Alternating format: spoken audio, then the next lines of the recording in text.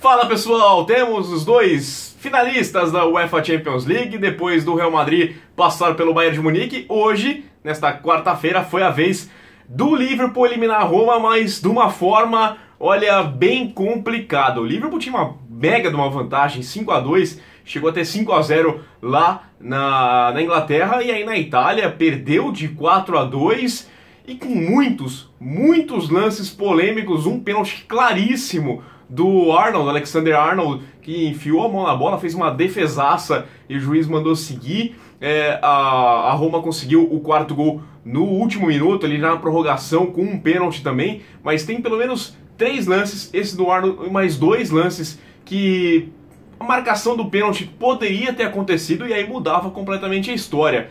A Roma quase conseguiu um milagre, como conseguiu com o Barcelona, né, fez 3 a 0 depois de ter perdido por 4 a 1. A Roma mereceu mais a classificação para a final do que o Liverpool nesta quarta-feira. Pelo menos essa é a minha opinião. É, até por conta da polêmica e pela inconsistência do Liverpool. O Liverpool, por mais que tivesse uma grande vantagem no primeiro jogo, em momento algum pareceu confiante que ia ficar com a vaga. Em momento nenhum, o torcedor do Liverpool é, soltou o ar e falou assim: ah, tá garantido. Começou bem, saiu em vantagem, fez o a 0 levou um empate ali no lance do Lovren ali, né? Que, com o Manier, que, que, pelo amor de Deus, né? Tentou chutar para longe e acabou acertando. Infelicidade, mas como eu digo, jogador que é fraco para mim, o Lovren é fraco, ele também vem acompanhado de azar, é sempre assim.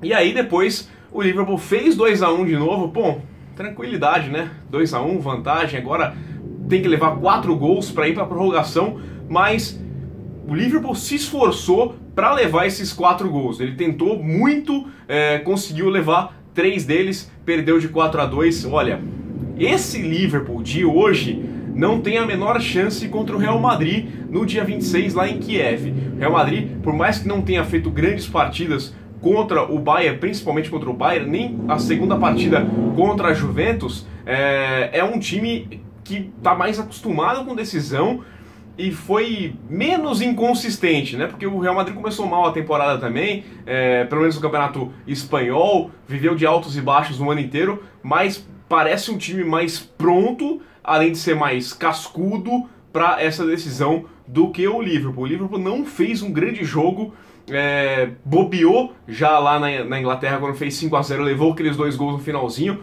quase se complicou demais agora em Roma e vai para a final. Para mim, Real Madrid favoritíssimo, por mais que a gente saiba que tem o Salah, tem o Firmino. O Firmino é, que começou muito bem a partida também. O time inteiro do Liverpool foi mal no segundo tempo, mas tem um, um trio muito bom, né? O Mané fica um pouquinho abaixo desses dois, mas ainda é um cara que aparece bem, resolve. A gente sabe, o Klopp tem que achar muita coisa para resolver esse Liverpool, essa inconsistência que já perdura ali por muito tempo nessa temporada do Liverpool, que começa muito bem alguns jogos e aí cai de qualidade. Foi assim é, na Inglaterra, foi assim agora em Roma.